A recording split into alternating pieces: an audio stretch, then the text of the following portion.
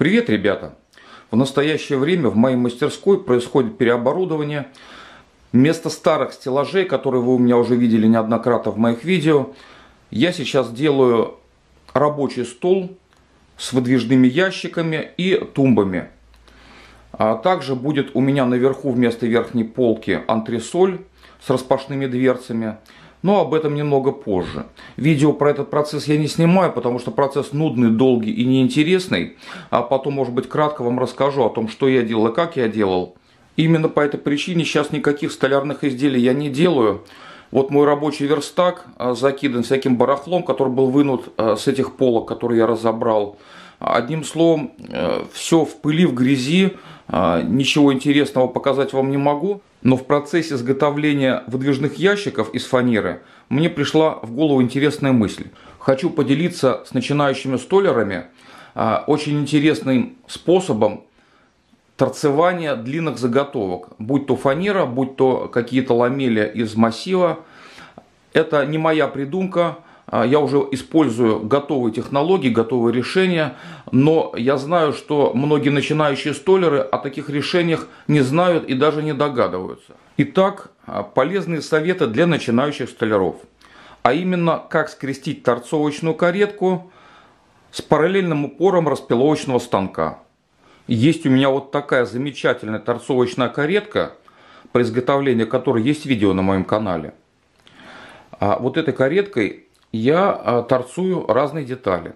В данном конкретном случае я торцую стенки выдвижных ящиков. И вот а, сейчас я хочу показать вам, как правильно организовать процесс торцевания длинных заготовок из фанеры, если у вас торцовочная каретка не позволяет выставить упор вот здесь вот по упору э, э, я обычно выставляю заготовки. Если у вас по длине э, эта каретка не позволяет выставить упор больше э, нужной длины. У меня здесь длина 300 мм максимальная. А мне нужно отторцевать заготовки для ящиков длиной 450 мм. Сейчас я покажу, как я это делаю. Для того, чтобы торцевать длинные заготовки, я использую параллельный упор моего а, распиловочного станка с вот такой вот прикрепленной деталью. Деталь может быть любая абсолютно, это может быть какой-то обрезок фанеры или деревяшки. Главное, чтобы она была откалибрована в одну толщину. Сначала я выставляю упор таким образом, чтобы а, линия разметочная была как раз на грани пильного диска. Этот упор выставляю так, чтобы можно было это все а, совместить напротив пильного диска. После этого беру уже длинную заготовку, ставлю ее, смещаю упор назад. Кстати, отвечая на вопрос, почему нельзя это делать э, непосредственно по параллельному упору, обязательно ставить вот такой вот упор. А, для того, чтобы, когда мы работаем на каретке, толкая каретку вперед, у меня заготовка сходит с конца упора, и потом вот этот дальний конец остается на весу.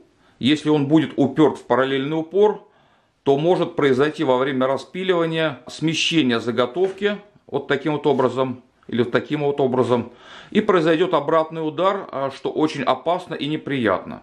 Этого избежания этого мы используем а, данный конкретный упор, который крепится непосредственно в начале параллельного упора при распиловке.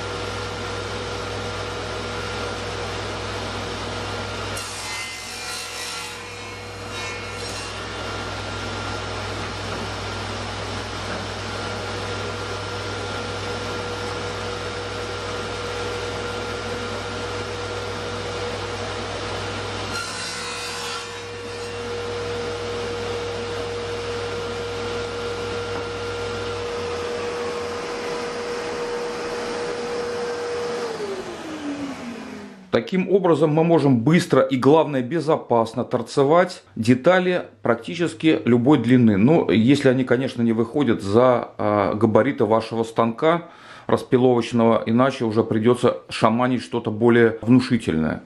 Надеюсь, это видео было для кого-нибудь полезным. В любом случае, спасибо за просмотр. Всего вам доброго и до новых встреч.